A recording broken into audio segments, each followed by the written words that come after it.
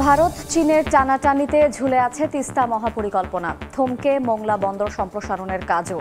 কূটনৈতিক বিচক্ষণতায় প্রকল্প বাস্তবায়নের পরামর্শ বিশ্লেষকদের।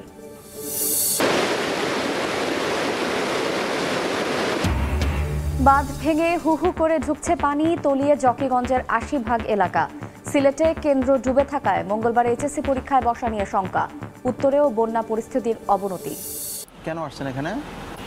হাজারে কে আসছে?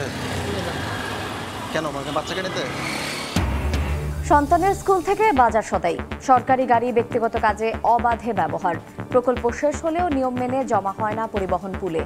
গাড়ির প্রকৃত সংখ্যাও জানে না অধিদপ্তর। এবার পঞ্চাশ কোটি টাকা হাতিয়ে লাপাত্তা প্রতারক। চট্ট- চট্টগ্রামের খাতুনগঞ্জে আটত্রিশ বছরে ব্যবসায়ীদের হাজার কোটি টাকা লোপাট।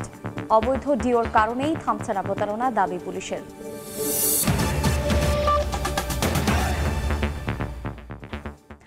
সময় সংবাদের সঙ্গে আছি আমি শায়লা রহমান ইমা। ভারত চীনের টানাটানিতেই যেন ঝুলে আছে তিস্তা মহাপরিকল্পনা বাস্তবায়ন। প্রধানমন্ত্রীর চীন সফরের মধ্য দিয়ে সমাধান চান আন্দোলনকারীরা। মহাপরিকল্পনা বাস্তবায়ন না হওয়া পর্যন্ত আন্দোলন চালিয়ে যাওয়ার ঘোষণা তাদের। তারিকুল ইসলামের ক্যামেরায় নাজমুল ইসলাম নিশাতের রিপোর্ট। ভারী বৃষ্টি কিংবা উজানের ঢল, তিস্তা ফুলে ফেপে ওঠা মানেই বসত বিটার ভাঙন আর একটু একটু করে নদীর তীর থেকে জনবসতি সরে যাওয়া। বেগম রোকেয়া বিশ্ববিদ্যালয়ের দুর্যোগ ব্যবস্থাপনা বিভাগের এক গবেষণার তথ্য অনুযায়ী যথাযথ পদক্ষেপের অভাবে গত চল্লিশ বছরে মূল প্রবাহের তিন থেকে চার কিলোমিটার দূরে সরে গেছে তিস্তা। ক্রমান্বয়ে বড় হয়েছে বন্যা ভাঙনের ক্ষয়ক্ষতি আর ঘর হারানো মানুষের সংখ্যা। রান্না এই মাছের উপরে করতেছি। আমগো কোনো রকম জীবনটা নিয়ে বাঁচি আছি। বিছনাত ঘুম পারবে না পাইনি হলে আস্তে খালি কোনো রকম করে হাঁটাহাঁটি চলাফেরা হয়েছে চোখে তো দেখিনি। আমরা কোনো তেরান টানার কিছু চাই না আমরা নদী শাসন চাই প্রধানমন্ত্রীর ভারত সফরের পর আবারও আলোচনায় তিস্তা মহাপরিকল্পনা। ভূরাজনৈতিক নানা সমীকরণ ভেদ করে একই প্রকল্পে ভারতের সঙ্গে সমন্বয় করে কাজ করতে আগ্রহী হয়েছে চীনও। এই নদী গবেষকের মতে প্রধানমন্ত্রীর আসন্ন চীন সফরে ঝুলে থাকা প্রকল্পটির ইতি টানা জরুরি। চীন করুক ভারত করুক কিংবা দুই দেশ একসাথে করুক এই জুলাইয়ে এই মহাপরিকল্পনা বিষয়ক সমস্ত ধোঁয়াশা দূর হওয়াটা অত্যন্ত জরুরি। অধিকার কর্মীদের মতে চীন ভারত তিস্তা মহাপরিকল্পনায় কীভাবে সমন্বয় করবে সেটি দ্রুত পরিষ্কার করার সময় এসেছে। না হলে এই প্রকল্প ঘিরে যে আশার আলো দেখা যাচ্ছে সেটিতে আবারও ভাটা পড়বে। ভারত কোন পাঠে কাজ করবে এবং আর সমগ্র এই কাজটি কীভাবে হবে, এটা কিন্তু এখনও পর্যন্ত আমাদের কাছে পরিষ্কার নয়। এটা পরিষ্কার হলেই এই উত্তর জনপদের মানুষ নূতন করে ভাবনা দেখবে এবং নূতন করে স্বপ্ন দেখবে। এদিকে তিস্তা মহাপরিকল্পনা বাস্তবায়ন সহ ছয় দফা দাবিতে তিস্তা সমাবেশের ডাক দিয়েছে তিস্তা বাঁচাও, নদী বাঁচাও সংগ্রাম পরিষদ। নাজমুল ইসলাম নিশাদ সময় সংবাদ, রংপুর। মংলা বন্দর সম্প্রসারণ ও আধুনিকীকরণের পরিকল্পনা নেওয়া হলেও শুরু হয়নি কাজ। বন্দরের ছয়টি জেটি বাংলাদেশ, ভারত ও চীনের করার কথা। এক জুলাই প্রকল্পের কাজ শুরুর কথা থাকলেও জানা গেছে, অন্য বড় প্রকল্পের মতো ভারত ও চীনের টানাটানির কারণে থমকে আছে কাজ। তবে বন্দর কর্তৃপক্ষ এ নিয়ে সরাসরি মন্তব্য করতে নারাজ। ব্যবসায়ীরা বলছেন, অবকাঠামো সুবিধা না বাড়ায় ক্ষতি হচ্ছে তাদের। আর কূটনৈতিক ভারসাম্য বজায় রেখে বিচক্ষণতার সঙ্গে প্রকল্প বাস্তবায়নের পরামর্শ আন্তর্জাতিক সম্পর্ক বিশ্লেষকদের। তাজওয়াল মাহমিদের রিপোর্ট। মোংলা বন্দরকে বাংলাদেশের প্রথম স্মার্ট বন্দর হিসেবে গড়ে তুলতে দু হাজার তেইশ সালের সেপ্টেম্বরে একটি প্রকল্প পাশ হয় একনেকে। যেই প্রকল্প অনুযায়ী ছয়টি নতুন অত্যাধুনিক জেটি তৈরি করার কথা রয়েছে এই মোংলা বন্দর ঘিরে। অথচ গত এগারো মাসেও সেই প্রকল্পের কোনো কাজের অগ্রগতি হয়নি। চার হাজার দুইশো তিরাশি কোটি টাকা ব্যয়ে এই প্রকল্পের কাজ শুরু হওয়ার কথা ছিল এবছরের পহেলা জুলাই থেকে। সময় পার হয়ে গেলেও এখনও কাজ শুরু হওয়ার কোনো লক্ষণ না থাকায় ক্ষিপ্ত বন্দরের ব্যবসায়ীরা। বন্দরের ড্রাফট আট থেকে দশে নিয়ে আসার সমস্ত ব্যবস্থা করতে হবে, পাশাপাশি জেটি সংখ্যা বাড়াতে হবে এবং প্রাইভেট ডিপু বাড়ানোর জন্য এবং পারমিশন দেওয়ার জন্য বন্দরের চেয়ারম্যানকে নিশ্চিত করতে হবে। গত সেপ্টেম্বরে পাশ হওয়া প্রকল্প ঘিরে হঠাৎ এবছরের জানুয়ারির পর পাল্টে যায় দৃশ্যপট। প্রকল্পটি আবার যাচাই বাছাই করতে বলা হয় নৌপরিবহন মন্ত্রণালয়ে। আটকে যায় বন্দরের উন্নয়ন মহাপরিকল্পনা। সবশেষ যাচাই বাছাই করে ফের মন্ত্রণালয়ে প্রতিবেদন পাঠিয়েছে বন্দর কর্তৃপক্ষ। কবে এই প্রকল্প পুনরায় একনেকে পাশ হবে সেটা বলা যাচ্ছে না। এটা এদিকে গেছিল। পরে আবার আরও কিছু তথ্য চেয়ে আমাদের কাছে পাঠালো। তথ্য দিয়ে আমরা নৌ পরিবহন মন্ত্রণালয়ে দিয়েছি। এখন মন্ত্রণালয় আছে না, তারা পরিকল্পনা কমিশনে পাঠিয়েছে এটা তো আর আমাদের মন্ত্রণালয় তো আমাদের উপরে, তাই না? সরকার চাইছে নতুন ছয়টি জেটি নির্মাণ করবে বাংলাদেশ, ভারত ও চীনের তিন কোম্পানি দিয়ে। এরই মধ্যে চীনা একটি কোম্পানি চ্যানেল রেজিং এর কাজ অর্ধেক শেষ করেছে। সংশ্লিষ্টরা ধারণা করছেন, মোংলা বন্দর উন্নয়ন প্রকল্পটিও তিস্তা প্রকল্পের মতো চীন ভারতের প্রতিদ্বন্দ্বিতায় পরিণত হয়েছে।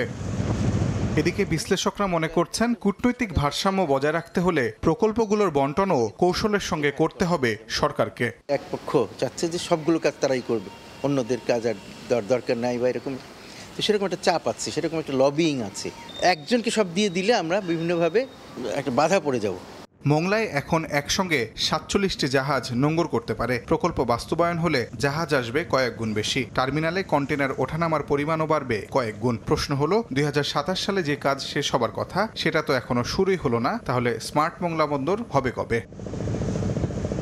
তাজওয়ার মাহমিদ, সময় সংবাদ, বাগেরহাট।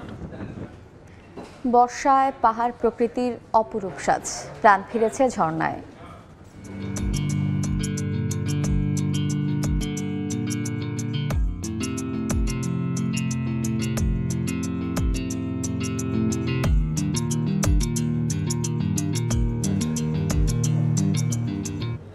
রাঙামাটির প্রাণ প্রকৃতি নিয়ে প্রতিবেদন থাকছে সংবাদের শেষাংশে এদিকে বেড়েই চলেছে যমুনার পানি, এতে জামালপুর ও সিরাজগঞ্জের নিম্নাঞ্চল ও চরাঞ্চলের নতুন নতুন এলাকা প্লাবিত হচ্ছে। বন্যা পরিস্থিতির খবর জানাতে সিরাজগঞ্জে আছেন সহকর্মী রিঙ্কু কুণ্ড এবং জামালপুরে আছেন জাহাঙ্গীর আলম। শুরুতেই যাচ্ছে রিঙ্কুর কাছে।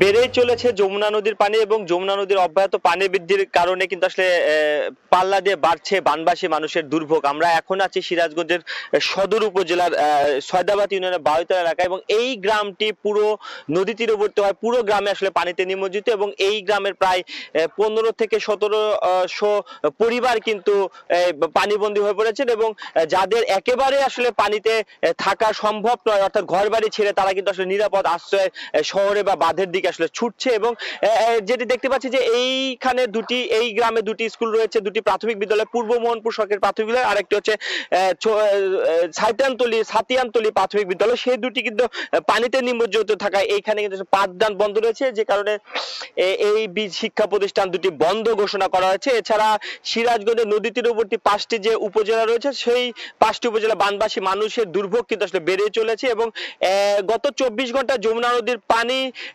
দশ সেন্টিমিটার বৃদ্ধি পেয়ে বিপদসীমার আটান্ন আটান্ন সেন্টিমিটার ওপর দিয়ে প্রবাহিত হচ্ছে এবং সেই সাথে পানি বাড়ার সাথে সাথে সিরাজগঞ্জের যদি বলি শাহজাদপুর এবং এনায়তপুরে কিন্তু আসলে তীব্র ভাঙন দেখা যাচ্ছে। সব মিলে বানবাসী মানুষদের কিন্তু আসলে দুর্ভোগ বেড়ে চলেছে এবং বানবাসী মানুষেরা যেটি বলছে যে তারা কিন্তু আসলে এখনও কোনো ত্রাণ সহায়তা পায়নি। তবে জেলা প্রশাসক মীর মোহাম্মদ মাহবুর রহমান যেটি জানিয়েছেন যে, বানবাসী মানুষের তালিকা তৈরি করা হচ্ছে প্রতিটি উপজেলা ভিত্তিক এবং সেই তালিকা তৈরির কাজটি শেষ হলে আসলে তান তৎপরতা শুরু করা হবে। তো এক কথা বলা যায় যে যমুনার পানি বাড়ার সাথে সাথে বানবাসী মানুষের আসলে দুর্ভোগ বেড়ে চলেছে।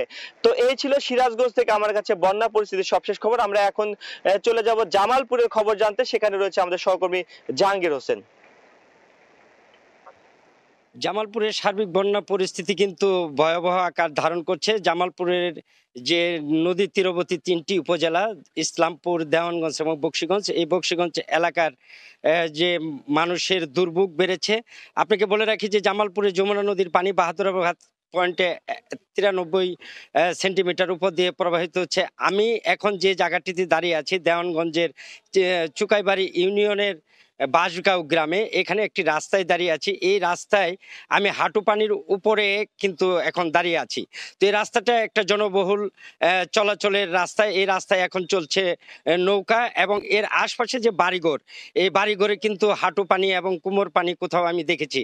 এবং একমাত্র যান বাহন তাদের নৌকা এই নৌকায় চড়ে তারা এই এলাকার চারটি গ্রামের মানুষ যাতায়াত করছে। তো জামালপুর জেলায় বিয়াল্লিশটি ইউনিয়ন কিন্তু বন্যা কবলিত হয়েছে এবং ইতিমধ্যেই এই জামালপুরে একশো পঁচিশটি শিক্ষা প্রতিষ্ঠান বন্ধ করে দেওয়া হয়েছে এবং বানবাসী মানুষ তাদের বাড়িঘর ছেড়ে উঁচু স্থান এবং রেল স্টেশনে তাদের গরু, ছাগল, পশু নিয়ে তারা কিন্তু অবস্থান নিয়েছেন।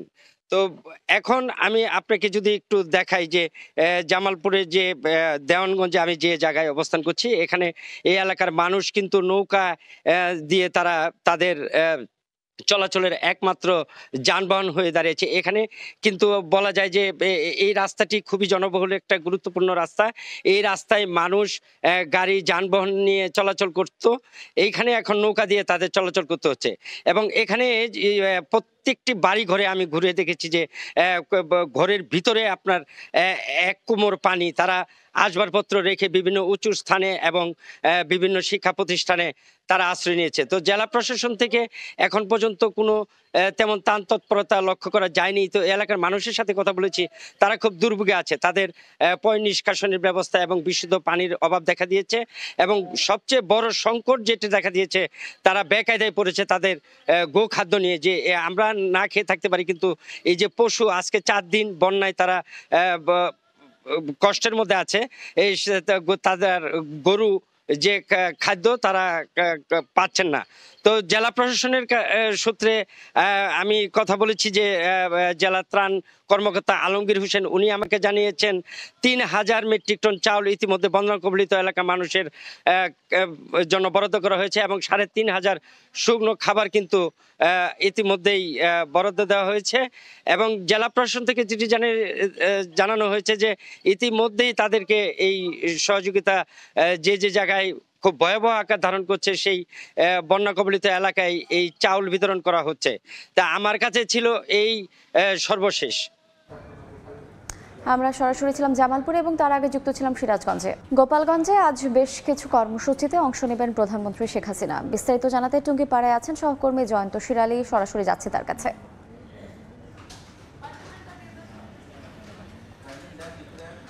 প্রধানমন্ত্রী শেখ হাসিনা দুই দিনের সফরে গোপালগঞ্জে রয়েছেন। এই মুহূর্তে আমি রয়েছি গোপালগঞ্জের টুঙ্গিপাড়ায় বঙ্গবন্ধুর স্মৃতিজন্য, অর্থাৎ বঙ্গবন্ধু যে স্কুলে প্রাইমারি প্রাথমিক বিদ্যালয়ে পড়ালেখা করেছেন, সেই প্রাথমিক বিদ্যালয় জিটি সরকারি মডেল প্রাথমিক বিদ্যালয়ে রয়েছি। তো প্রধানমন্ত্রী এগারোটায় এই স্কুলটিতে আসবেন এবং এখানে একটি বঙ্গবন্ধু কর্নারের উদ্বোধন করবেন। এরপরে এখানে এই স্কুলটির যারা শিক্ষার্থী রয়েছে, তাদের মাঝে শিক্ষা উপকরণ বিতরণ করার কথা রয়েছে। এছাড়াও এসো বঙ্গবন্ধুকে জানি শীর্ষক একটি মোড়ক উন্মোচন করার কথা রয়েছে। এরপরে কিন্তু প্রধানমন্ত্রী চলে যাবেন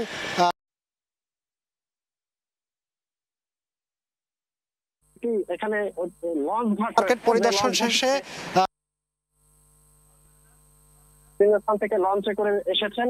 এখানে সেই লঞ্চ ঘাটটি তিনি পরিদর্শন করবেন। করে এসেছেন এখানে সেই লঞ্চ ঘাটটি সেই লঞ্চ ঘাটটি তিনি পরিদর্শন করবেন। এই লঞ্চ ঘাট পরিদর্শন শেষে প্রধানমন্ত্রী চলে যাবেন উপজেলা চত্বরে। উপজেলা চত্বরে এখানে নবনির্মিত যে মডেল মসজিদটি রয়েছে সেই মডেল মসজিদ পরিদর্শন করবেন এবং সেখানেই জোহরের নামাজ আদায় করার কথা রয়েছে। সেখানে জোহরের নামাজ আদায়ের পরে প্রধানমন্ত্রী ফিরে যাবেন তার নিজের বাড়িতে। সেই বাড়িতে অবস্থান শেষে সেখানে মধ্যাহ্নভোজ মধ্যাহ্নভোজ অংশ নেবেন। এরপরেই তিনি বঙ্গবন্ধুর সমাধিতে ফাতেহা পাঠ এবং মোনাজাত শেষে এরপরে তিনি ঢাকার উদ্দেশ্যে গোপালগঞ্জ ছাড়বেন। এই ছিল আমার কাছে গোপালগঞ্জের টুঙ্গিপাড়া থেকে সর্বশেষ। আমরা সরাসরি যুক্ত ছিলাম গোপালগঞ্জের টুঙ্গিপাড়ায়। সন্তানের স্কুল থেকে বাজার সদাই। সরকারি গাড়ি অবাধে ব্যবহার হচ্ছে ব্যক্তিগত কাজে। বিভিন্ন মন্ত্রণালয়, বিভাগ ও দফতরে সরকারের কতগুলো গাড়ি আছে তার সঠিক সংখ্যাও জানে না অধিদপ্তর। পরিবহন পুল বলছে, মোট সরকারি গাড়ির মাত্র দশ ভাগ সরবরাহ করে তারা। বাকি নব্বই শতাংশই বিভিন্ন উন্নয়ন প্রকল্পের। তবে উন্নয়ন প্রকল্প শেষ হলেও নিয়ম মেনে গাড়ি জমা হয় না পরিবহন পুলে। বাবুল হোসেনের ছবিতে আতিকুর রহমান তমালের রিপোর্ট। বেইলি রোডে সিদ্ধেশ্বরী বালিকা বিদ্যালয়। নো পার্কিং জোনে সকাল থেকে একটি সরকারি গাড়ি এসি চালিয়ে দাঁড়িয়ে আছে। সেটা কোন মন্ত্রণালয় গাড়ি? কৃষি। বাচ্চাকে স্কুলে নামিয়ে ঘণ্টার পর ঘণ্টা গাড়ির এসি চালু রেখে ড্রাইভারদের এই অপেক্ষা নিত্যদিনের। সেটা কোন মন্ত্রণালয় গাড়ি? কোন স্যারের গাড়ি এটা? স্কুল কলেজ বিশ্ববিদ্যালয় শপিং মলের মতো একই চিত্র কারওয়ান বাজারেও। তিন জুলাই বুধবার সকালের চিত্র এটি। যেসব সরকারি অফিস কারওয়ান বাজারে নয় সেসব অফিসের সরকারি গাড়িও বাজার করতে হাজির হয়েছে এখানে। কেন আসছেন এখানে? বাজারে আসছে। স্যার নিজে আসছে নাকি মানে কর্মচারী গেছে? এভাবেই সরকারি গাড়ি এবং জ্বালানি ব্যবহৃত হচ্ছে পারিবারিক কাজে। তবুও এর একটি ব্যাখ্যা দেওয়া যায় যে গাড়িটি বসে নেই। কিন্তু আমরা জানতে চাই বাংলাদেশ সরকারের কতটি গাড়ি রয়েছে এবং সেই গাড়িগুলোর কতটি অকেজো এবং কতগুলো সচল রয়েছে সেই সংখ্যা জানার জন্য আমরা এখন যাব সরকারি পরিবহন পুলে। সকল মন্ত্রণালয় বিভাগ দপ্তরও সারা দেশে সরকারি অফিসে যানবাহন সরবরাহের কাজটি করে সরকারি যানবাহন খোঁজে দপ্তর। সেই ভবনের তিনতলা পর্যন্ত পুরোটাই অচল গাড়ির আস্তানা। তথ্য অধিকার আইনে আবেদন না করলে তথ্য দেবে না। এই অধিদপ্তর আবেদনের পর জানা গেল, এখান থেকে সারা দেশে সরবরাহ করা যানের সংখ্যা মাত্র আড়াই হাজার। এর মধ্যে অচল গাড়ির সংখ্যা তেষট্টি, বাকিগুলো সচল। এখন প্রশ্ন হলো, সরকারি কর্মকর্তারা তবে এত গাড়ি পাচ্ছেন কোথায়, যা দিয়ে ব্যক্তিগত কাজে পরিবারের চাহিদাও মেটাচ্ছে? নথি বলছে বিভিন্ন মন্ত্রণালয় দপ্তরও বিভাগ নিজেদের চাহিদা অনুযায়ী সরকারের টাকায় গাড়ি কিনে থাকে। আবার উন্নয়ন প্রকল্পের শুরুতেই কেনা হয় নতুন নতুন গাড়ি। নিয়ম হলো, প্রকল্প শেষ হওয়ার পরই এসব গাড়ি জমা হবে পরিবহন পুলে। কিন্তু বাস্তবতা বলছে, প্রকল্পের মেয়াদ শেষ হয় কিন্তু গাড়ি জমা হয় না। গত পাঁচ বছরে পরিবহন পুলে উন্নয়ন প্রকল্পের গাড়ি জমা হয়েছে মাত্র দেড়শোটি। যদিও গত পাঁচ বছরে শুধু উন্নয়ন প্রকল্পের জন্য পঞ্চাশটি মন্ত্রণালয়ে কত হাজার গাড়ি কেনা হয়েছে সেটি জানে না পরিবহন পুল। বর্তমান প্রেক্ষাপটে। গাড়িগুলো যদি তারা জমা দেয় আমাদের কাছে তাইলেই আমরা নিতে পারি। অন্য কোনো মেকানিজম আমাদের হাতে এই মুহূর্তে নাই। সাবেক আমলারা বলছেন অচল গাড়িগুলো নিলামে বিক্রি বা সরকারি টেকনিক্যাল ট্রেনিং সেন্টারে দিয়ে দেওয়া উচিত। সস্তায় পরিবহন করতে পারে তাহলে তো মানুষের উপকার হয়। আমরা দেখি কক্সবাজার এলাকায় বা পার্বত্য চট্টগ্রাম এলাকায় চাঁদের গাড়ি বলে। তো এগুলো তো চাঁদের গাড়ি তো আরও পুরনো ওইগুলো। তাহলে এগুলো কেন ব্যবহার হবে না? পাশাপাশি সকল মন্ত্রণালয়ের সব ধরনের গাড়ি হিসেবে দায়িত্ব পরিবহন পুলের উপর ন্যস্ত করা গেলে অচল হিসেবে দিনের পর দিন কোটি টাকার গাড়িগুলো নষ্ট হওয়ার হাত থেকে রক্ষা পাবে। হাতিকুর রহমান তামাল সময় সংবাদ ঢাকা। বেশি দামে পণ্য কিনে ব্যবসায়ীদের আস্থা অর্জন। পণ্য না দিয়ে পঞ্চাশ কোটি টাকা হাতিয়ে লাপাত্তা নাজিম নামে এক ব্যবসায়ী। চট্টগ্রামের খাতুনগঞ্জে গত আটত্রিশ বছরে এভাবেই ব্রোকারদের কাছ থেকে এক হাজার কোটি টাকা নিয়ে ভারত, মালয়েশিয়া ও কানাডায় পালিয়ে গেছেন অন্তত একশো ব্যবসায়ী। অবৈধ ডিও ব্যবসার কারণেই এমন প্রতারণার ঘটনা নিয়ন্ত্রণে আসছে না বলে দাবি পুলিশের। নুরজামাল আতিকের ক্যামেরায় বিস্তারিত জানাচ্ছেন কমল দে। গত এক মাস ধরে নাজিম নামে এক ব্যবসায়ীর খোঁজ পাচ্ছে না খাতুনগঞ্জের সাধারণ ব্যবসায়ীরা। এই ব্যবসায়ী অন্তত বাইশ জন পাইকারের কাছে একষট্টি মেট্রিক টন এলাচ সরবরাহের নামে হাতিয়ে নিয়েছে নগদ পঁচিশ কোটি টাকা। এছাড়া তার কাছে অন্যান্য ব্যবসায়ীর আরও অন্তত পঁচিশ কোটি টাকা পাওনা রয়েছে। যারা মানে নতুন নতুন ব্যবসায়ী আসছে, ওরা না বুঝে ব্যবসা করে এই সমস্যা পড়ে গেছে। উনিশশো ছিয়াশি সালে ছয় কোটি টাকা হাতিয়ে নিয়ে ভারতে পালিয়ে যান বিভূতিভূষণ নামে এক ব্যবসায়ী। সে থেকে শুরু হয় টাকা নিয়ে ব্যবসায়ীদের পালিয়ে যাওয়ার অপতৎপরতা। এরপর চৌধুরী ব্রাদার্স এবং চৌধুরী এন্টারপ্রাইজের মালিক সবচেয়ে বেশি একশো আটচল্লিশ কোটি টাকা নিয়ে লাপাত্তা হন। অনেকে আমরা চেহারা দেখি না। তাদের গুডউইলের কারণে তাদেরকে পণ্য আমরা বিক্রি করে থাকি। অনুসন্ধানে বের হয়ে আসছে ভাসমান এসব ব্যবসায়ী প্রথম পর্যায়ে বাজারের চেয়ে বেশি দামে পণ্য কিনতে ব্যাপক টাকা বিনিয়োগ করে। সাধারণ ব্যবসায়ীদের মধ্যে আস্থা অর্জনের পর শুরু হয় পণ্য সরবরাহ না করে টাকা জমিয়ে রাখার কৌশল। আমার একটা পার্টি তো আমার সাড়ে সাত কোটি টাকা দিয়ে মানুষের দিয়ে বসে আছে। যারা লুবি মানুষ তারা দশ টাকার দিকে তাকাইয়ে ওই ফাড়িকে মাল দিচ্ছে। এখন দেখা গেছে যখন পণ্যের দামটা কমে যায় তখন ফাড়ি ওটা সাফার করতে পারে না। এক সময় সে পালিয়ে যায়। পুলিশের দাবি খাতুনগঞ্জের তেল চিনি মস্টার বাজার পুরোপুরি ডিও নির্ভর। আমরা তাদেরকে মামলা করার পরামর্শ দিয়েছি এবং মামলা রুজু করলে আমরা তাদেরকে গ্রেপ্তার করার জন্য সর্বাত্মক সচেষ্ট থাকব। দেশের সবচেয়ে বড় ভোগ্য পণ্যের পাইকারি বাজার চট্টগ্রামের চাকতাই খাতুনগঞ্জ এবং আসাদগঞ্জে পাঁচ হাজারের বেশি আড়ত রয়েছে। আর প্রতিদিন এক হাজার কোটি টাকার বেশি লেনদেন হয়। শুধুমাত্র বিশ্বাসের উপর ভর করে শত শত কোটি টাকার লেনদেন হচ্ছে এই খাতুনগঞ্জে। কিন্তু সে বিশ্বাসও ফাটল ধরেছে। এক হাজার কোটি টাকার বেশি নিয়ে পালিয়ে গেছে একশোর বেশি ব্যবসায়ী। আর মূলধন হারিয়ে অনেকটা দিশেহারা সাধারণ ব্যবসায়ীরা। চট্টগ্রামের খাতুনগঞ্জ থেকে কমল দে, সময় সংবাদ। বর্ষায় অপরূপ রূপে সেজেছে পাহাড় ও প্রকৃতি। প্রাণ ফিরেছে ঝর্ণায়। প্রকৃতির এই রূপ উপভোগ করতে প্রতি বছর রাঙামাটিতে ভিড় করে হাজারো পর্যটক। তবে এবার এখনও প্রত্যাশিত পর্যটকের আগমন ঘটেনি বলে দাবি ব্যবসায়ীদের। রাঙামাটি থেকে হেফাজত সবুজের তথ্য ও রাজীব দাস মুন্নার ছবি নিয়ে রিপোর্ট।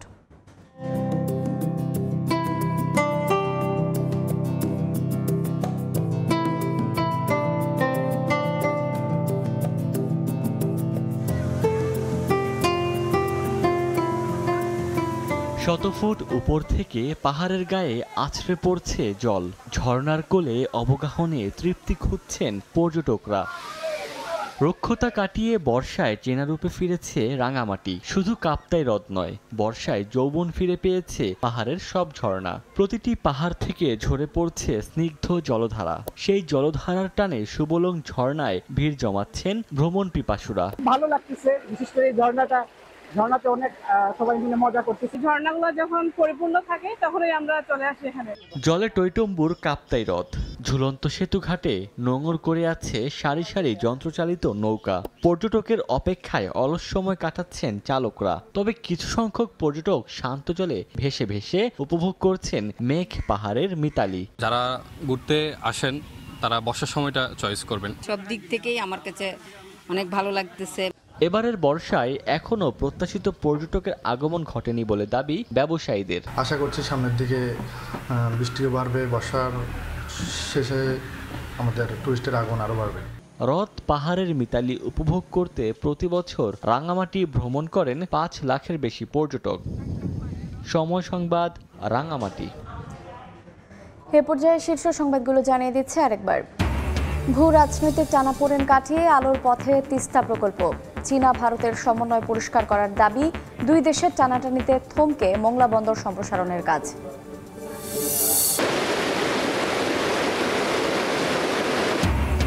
বাঁধ ভেঙে হু হু করে ঢুকছে পানি তলিয়ে জকিগঞ্জের আশি ভাগ এলাকা। সিলেটে কেন্দ্র ডুবে থাকায় মঙ্গলবার এইচএসসি পরীক্ষায় বসা নিয়ে শঙ্কা উত্তরেও বন্যা পরিস্থিতির অবনতি। কেন আসছেন এখানে? কে আসছে?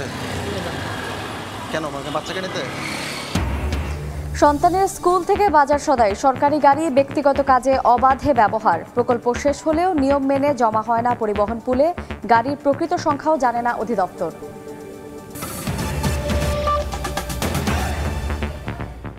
এই ছিল সময় সংবাদে। এরপর এ সময়ের বাণিজ্য নিয়ে ফিরছি কিছুক্ষণ পর। সঙ্গেই থাকুন সময়ের।